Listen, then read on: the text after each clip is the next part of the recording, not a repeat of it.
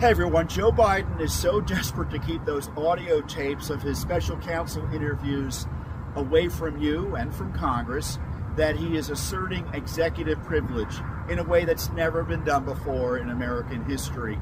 And of course, it's also designed to protect Attorney General Garland, who seems so intent on hiding these audio tapes that he's willing to go into contempt of Congress, joining Barack Obama's Attorney General Eric Holder as the only attorney general found in contempt of Congress.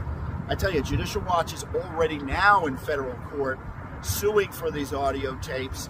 Uh, they have asserted privacy exemptions to hide the records from us. They're trying to protect Joe Biden's privacy. Now, on top of that, now they're asserting executive privilege. We've never seen anything like it before. The tapes must be devastating. Now, Judicial Watch is going to pursue this issue in federal court frankly, I think we'll get the audio tapes before Congress does at this rate. Uh, but we're here fighting for you, the American people, as Joe Biden tries to cover up his corruption.